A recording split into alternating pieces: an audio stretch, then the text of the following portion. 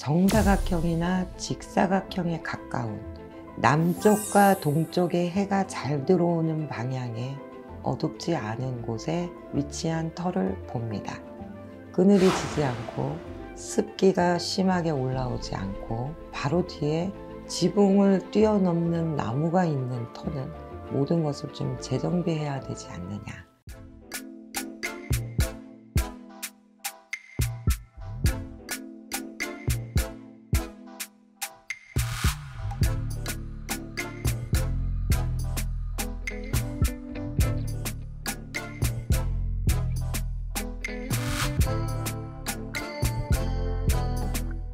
안녕하세요.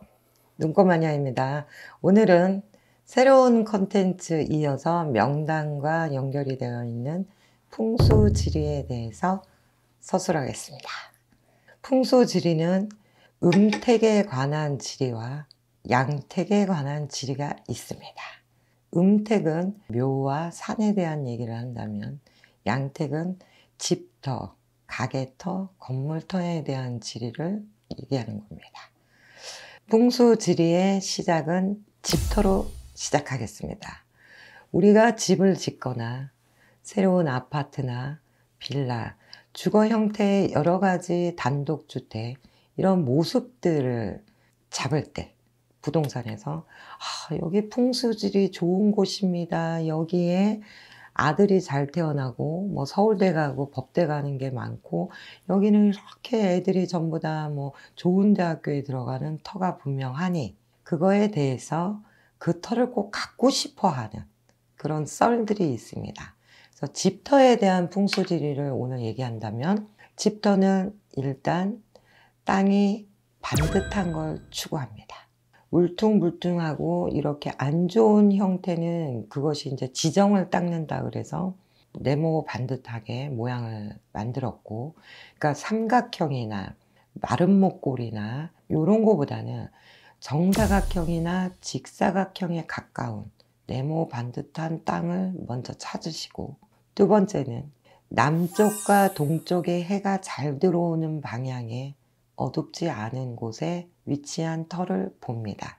세 번째는 뒤쪽으로 배수진을 친다고 해서 산이 병풍처럼 쳐 있거나 절벽이 쳐져 있지만 너무 근접해서 있는 것보다는 어느 정도 일정 거리가 있어서 멀리서 봤을 때 둥그렇게 가드라인처럼 이렇게 품고 있는 터를 말하는 겁니다. 자, 이렇게 터를 잘 잡았으면 그 위에 집을 지어야겠죠. 그것이 두 번째가 방향성입니다. 아무리 땅이 좋은데 북쪽으로 집을 앉게 하거나 북쪽으로 대문이 나거나 이랬을 때는 또 문제가 달라지죠. 그래서 거실의 창이나 전체적인 집의 앞면은 남동 쪽을 향하는 쪽을 추구해야 좋습니다. 그늘이 지지 않고 습기가 심하게 올라오지 않고 그리고 바로 뒤에 지붕을 뛰어넘는 나무가 있는 터는 모든 것을 좀 재정비해야 되지 않느냐. 그렇게 해서 방향성은 남동쪽을 보게 하고 대문은 각자의 사주에 맞게 서쪽이 길하신 분이 있고 북쪽이 길하신 분이 있고 동쪽이 있고 남쪽이 있습니다. 이것은 들어오는 대문의 위치를 나의 사주와 맞추는 겁니다. 그렇게 해서 대문의 입구의 방향이 정해지면 거실의 전체적인 방향이 앉아서 햇볕과 바람과 기타 등등의 따뜻한 양기를 잘 흡수할 수 있는 위치에 집을 앉힌다. 이렇게 해석을 하면 꽃님들 이해하기 쉽겠죠? 여기까지는 풍수에 대한 가장 기본적인 집터를 알아보는 곳이었습니다. 제일 염두해야 되는 건 너무 근처에 물이 냇가가 흐른다. 바로 뒤에 절벽이나 큰 나무의 숲이 낭떠러지가 있게 근접하지 않게 위치를 잡는다.